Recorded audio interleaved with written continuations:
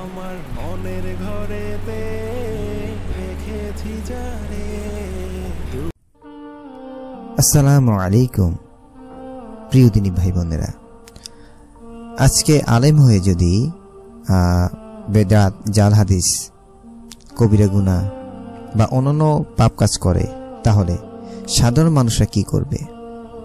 এটি গজল রয়েছে যে, মোরা যদি ডানাওয়ালা পাখি হতাম। এরকম একটি গজল রয়েছে। সেই গজলে একজন আলেম অভিনয় করে।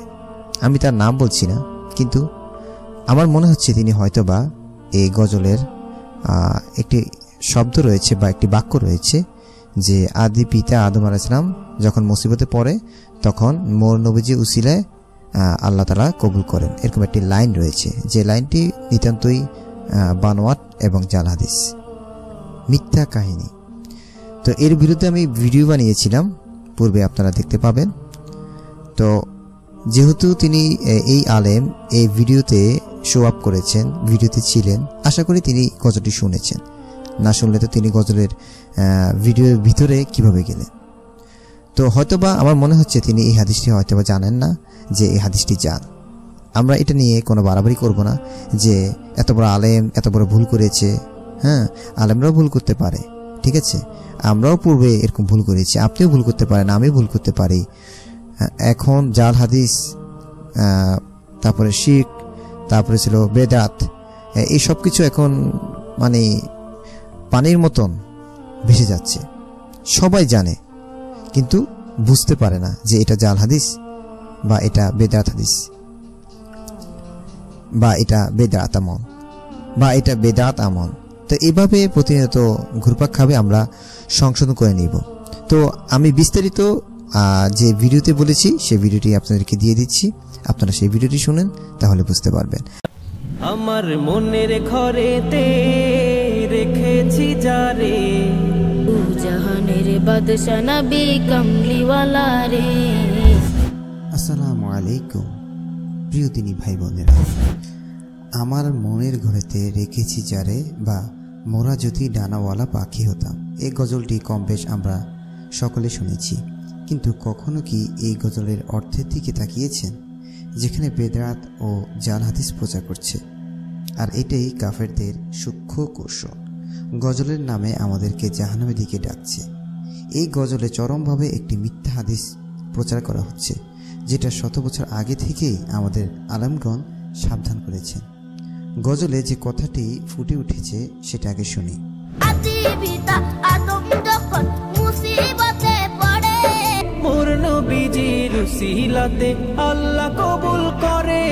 এবার আমি পুরো হাদিসটি বলছি।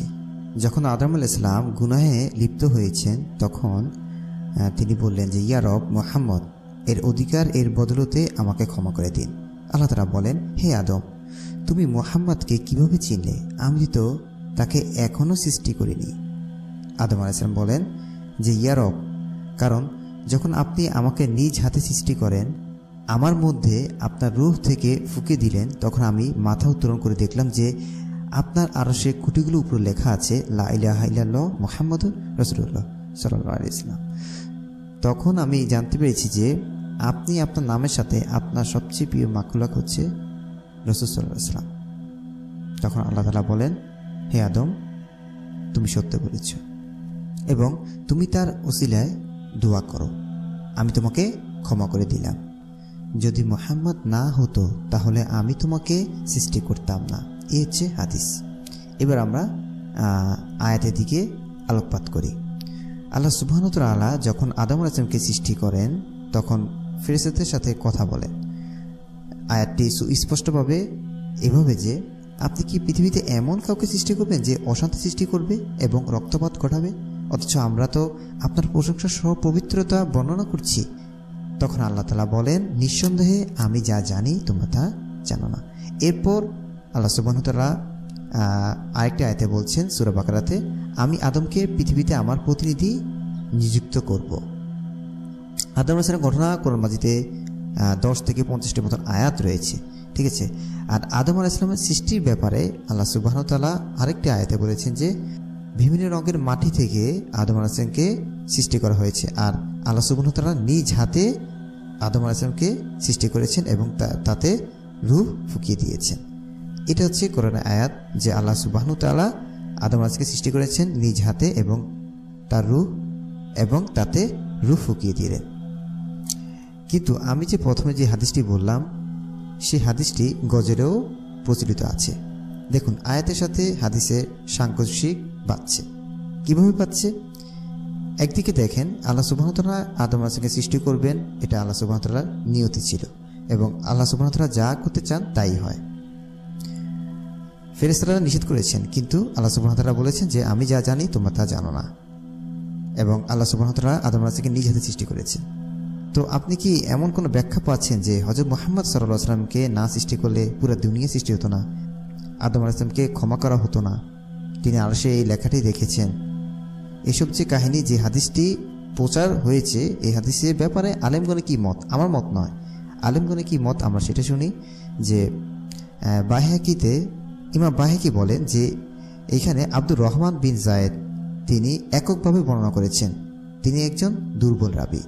তারপরে আলবানি তার আল সিলসিলা আল জয়ফা তার গ্রন্থে তিনি বলেছেন, এটা মৌজু অর্থাৎ বানট হাদিস।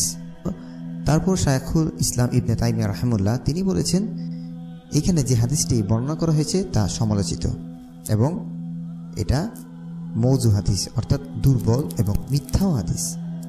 এভাবে অনেক, আরও অনেক আলেমগণ এই ব্যাপারে মিথ্যা বলে সাব্যস্ত করেছেন। সুতরাং গজলের ভিতরে যে কথাটা প্রকাশ পেয়েছে, এটি একটি জাল হাদিস। তো আমরা এই কথাটুকু বাদ দিয়ে আমরা শুনব, আমি নিজেও গজলটি শুনি। আমরা গজলটি শুনব, সমস্যা নেই, কিন্তু এই বেদাত এবং জাল হাদিস যেভাবে মানুষ প্রচার করছে, সেই বিষয়ে সতর্ক থাকা জরুরি। যারা গজল গান, তারা অবশ্যই গজলের যে স্ক্রিপ্টটা আপনারা লেখেন, সেটার অর্থের দিক থেকে আপনারা সৌন্দর্যভাবে যাতে কোনো কোনো বেদার হাদিস যাতে প্রচারিত না হয়, জাল হাদিস যাতে প্রচারিত না হয়, আল্লাহ সুবাহতলা গুণগান নিয়ে আপনি রসুলামের প্রশংসা, ইসলামের প্রশংসা নিয়ে আপনি গজল গাইবেন, সমস্যা নেই। কিন্তু কোনো জাল হাদিস যাতে প্রচার না হয়, আল্লাহ সুবাহতলা আমাদেরকে বুঝে মানার তাফিক দান করুন আমি